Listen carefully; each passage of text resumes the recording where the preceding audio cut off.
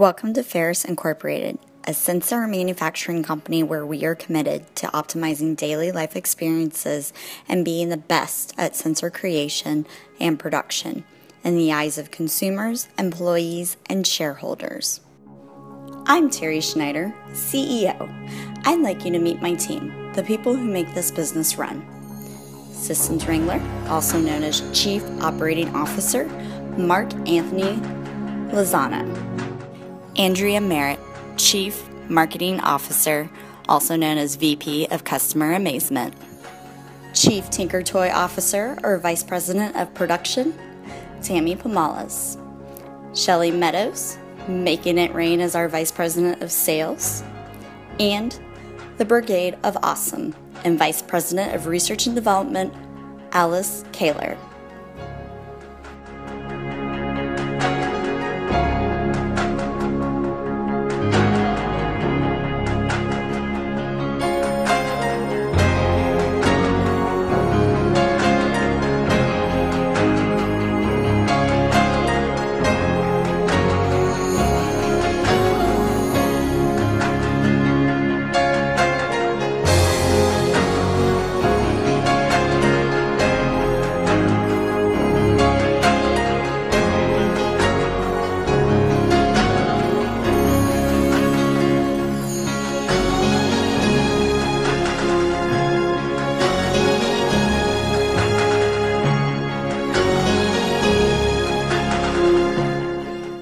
Just wrapped up fiscal year 2022, where we posted $217 million in sales, 8.3% return on sales, on a stock price of $76.65 per share.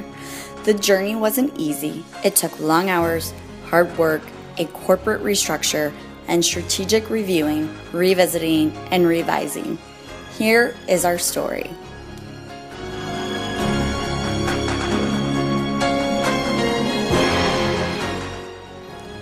Compiling all eight years of financial information into a spreadsheet enables a side by side comparison of each year's performance. Calculating various financial ratios, such as the current ratio, earnings per share, or market capitalization, and then placing that information into graphs gives the CEO and the CFO a quick glance into how the company has performed over time. By studying this information, it's easy to see the challenges Ferris faced. We had good years and bad years, but had finally found our footing. As the final three years of information illustrates, we were on an upward trend and were poised to continue the path to success and profitability. Ferris determined our business strategy as being a cost leader with product lifecycle focus.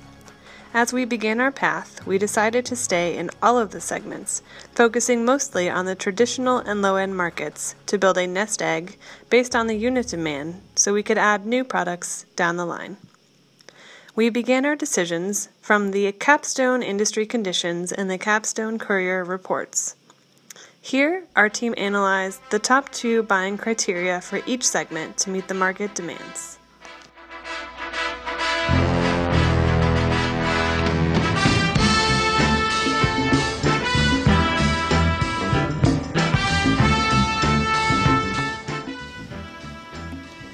By focusing mostly on the traditional and low end segments in the beginning, we were able to gain market share and stayed in all of the markets through round three. Starting in round four, we began focusing our best performing segments that aligned with our business strategy, which kept us in the traditional, low end, and high end segments.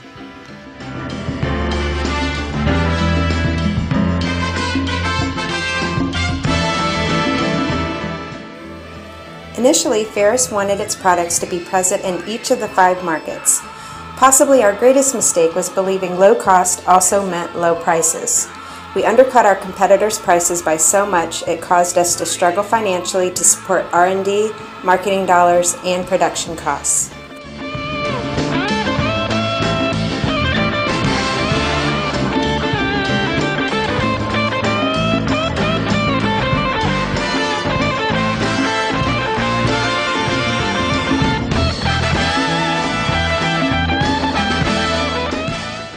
The end of round two, those who produced products in the size and performance segments had capacity and production closely aligned with demand.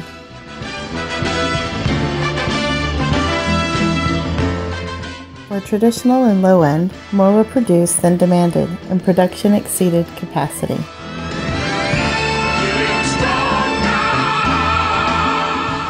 In the high end market, capacity far outweighed production, which meant employees had to be laid off and the sales were slow as well.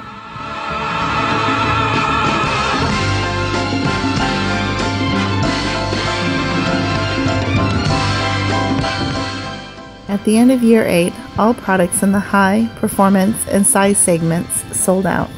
Production was perfectly aligned to demand. In the low segment, production was almost double capacity and most of the products sold. In the traditional segment, again, capacity was almost half of what was produced, but there was a lot of product left in inventory. Quite a bit of capacity was sold off from year 2 to year 8.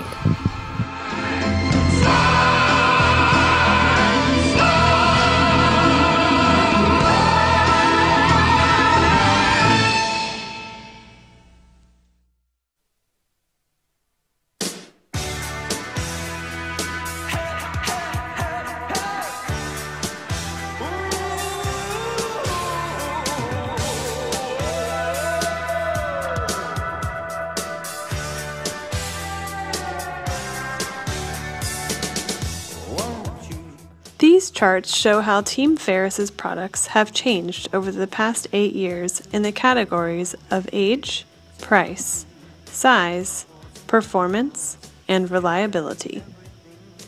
Ferris succeeded in aligning its products with its customers' wants and needs.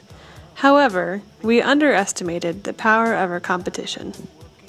This major misstep caused us to lose out on opportunities to gain market share within the industry. This SWOT analysis shows the various positions of Ferris through the past eight years. While we started and ended strong, the mistakes just mentioned caused us to fall into the limited growth quadrant and temporarily into survival mode. Fortunately, we were able to learn from our mistakes and took corrective action to get us back on track for success.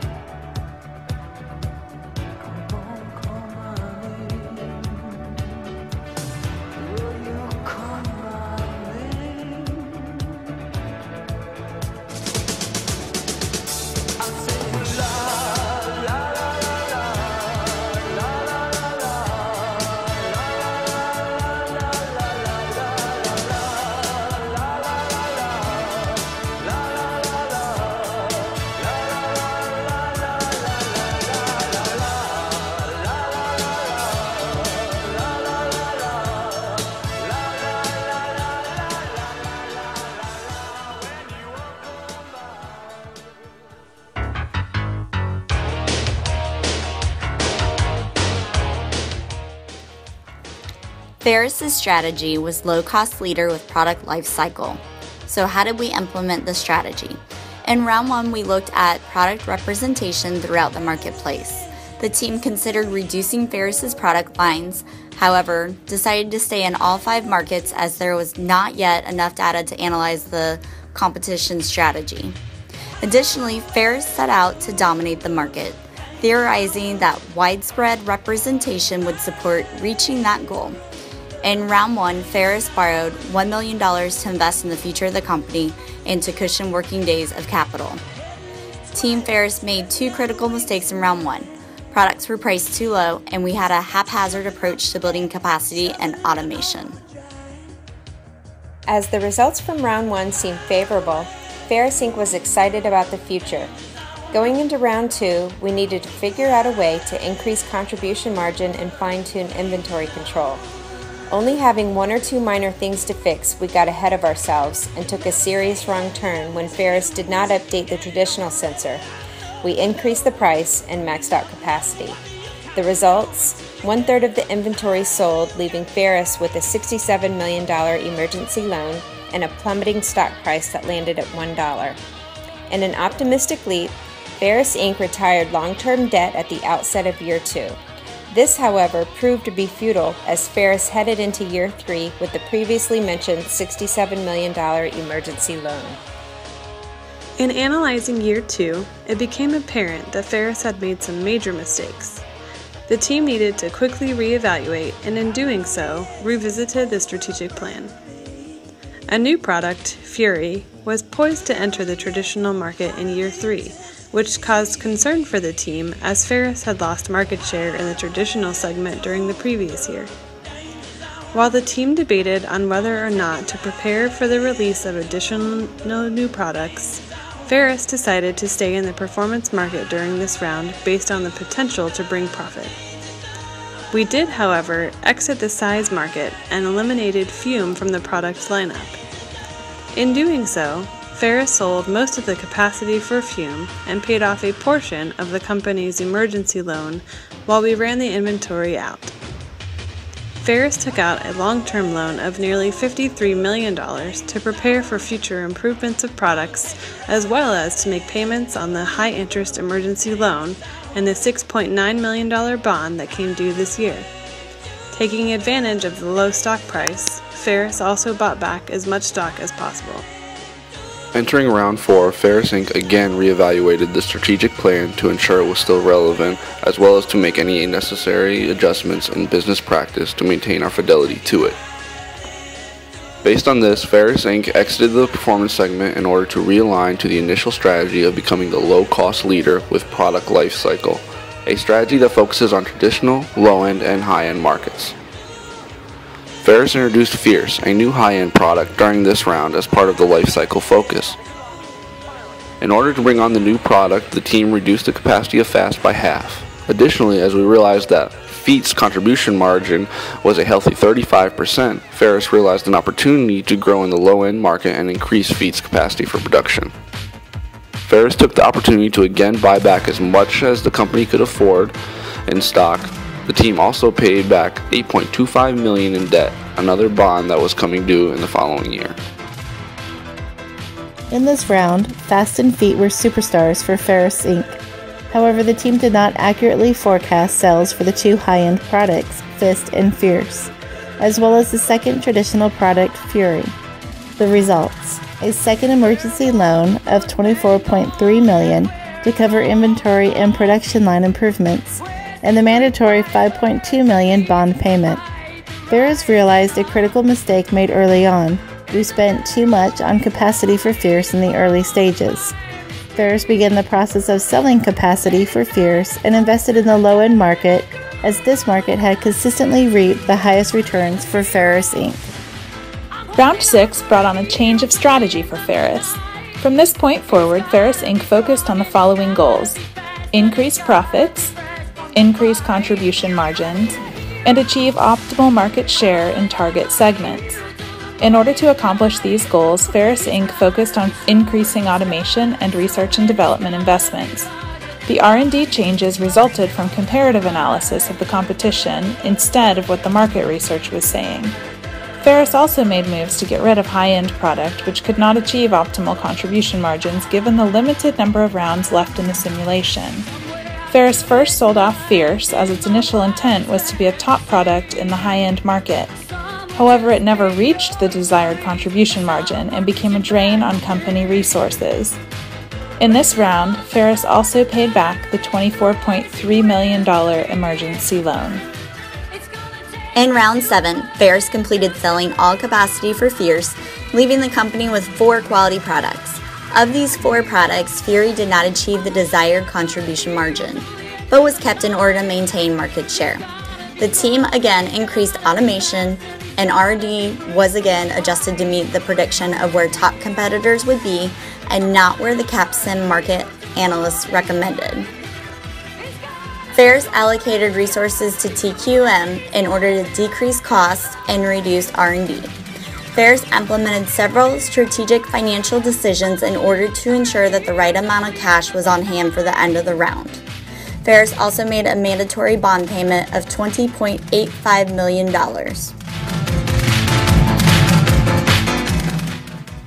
One of the main goals of round 6 and 7 was to improve profits in order to reach preset benchmarks.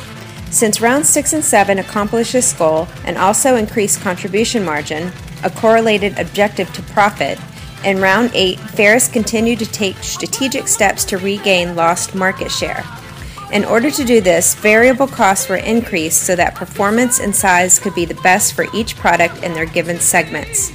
In addition to raising variable costs and improving performance and size, Ferris Inc. also lowered prices to be sure that no other competitor could undercut Ferris's price and steal potential market share. This strategy worked well, but not as well as Team Ferris had hoped. In the end, Ferris Inc. did regain much of the lost market share, but ultimately did not land where intended. In analyzing why, Ferris concluded that while pricing strategy was implemented well and favorably impacted the market, overlooking the ideal age factor prevented this market share strategy from being completely successful. Ferris's pitfalls were that we mired in the day to day, experienced a lack of ownership on the executive team, had an overwhelming plan, a lack of communication, no review of strategy except for an annual basis, a meaningless plan, and failure to measure progress. How did Ferris overcome these obstacles? We turned our focus towards profits and contribution margin, eliminated products that could not achieve high profits or contribution margin, evaluated size and performance relative to competitors and not market suggestions, raised prices in later rounds to achieve desired profits, lowered prices in round 8 to maximize market share, and invested in capacity and automation more heavily to correct earlier round mistakes of investing in the wrong products. In the future, Ferris will continue to focus on improving labor and production costs by investing in capacity and automation. We plan to stay in the traditional, low end, and high end markets. Based on market segment growth, Ferris will consider the potential of entering the performance or size segments depending on cost or if the company is able to improve a current product and transition to a new segment. The market in general is competitive, and Ferris has a bright future to infiltrate and gain more market share if we can agree on a direction, focus on strengths, and capitalize on our competitors' mistakes. Ferris's goals were to focus on market share and return on assets in addition to cumulative profits and average stock price. We were most successful in meeting our cumulative profits, which were exceeded by 273%. Ferris had hoped to succeed and bring up the average stock price, but fell short by 34%. While we maintained market share in two of three primary markets, we were not able to maintain a market share of 20% and missed our goal by 12%. Ferris also missed our goal to make a 5% return on assets, which was missed by 36%. Ferris was still able to find success after we were able to turn the company around, adjust our strategic plan, and are now making a comeback to take over the industry from our competitors. Hi, I'm Alice Koehler, VP of Research and Development. Along our CAPSIM journey, Team Ferris learned a lot of important lessons. The first being that the devil is in the details.